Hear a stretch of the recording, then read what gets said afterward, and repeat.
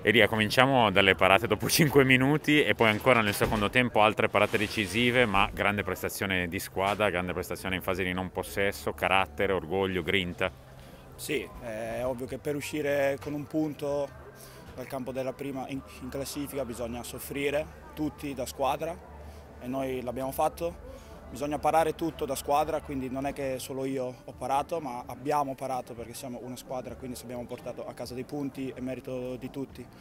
La strada è lunga, dobbiamo continuare così perché troppe volte abbiamo fatto delle buone prestazioni e subito dopo abbiamo perso dei punti per strada che non andavano persi. Cosa può dare dal punto dell'energia fisica e mentale questo pareggio? Da tanta fiducia, perché, perché venivamo da da una prestazione brutta di mercoledì, da una sconfitta 3-0 contro comunque la Prosesto. Quindi ci dà tanta fiducia per affrontare le prossime due partite di questa settimana che sarà una settimana lunga e difficile, soprattutto perché giochiamo contro la Juve e poi abbiamo uno scontro fondamentale contro il Legnago.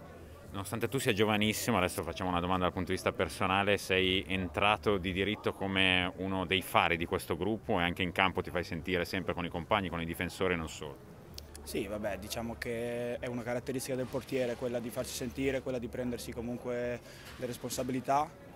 Eh, io ho scelto di fare questo ruolo ormai 15 anni fa, quindi le responsabilità fanno parte, fanno parte, della mia vita e continuerò a prendermele perché comunque sono qui per aiutare la squadra. Non gioco da solo e non gioco solo per, per, delle, per delle soddisfazioni personali.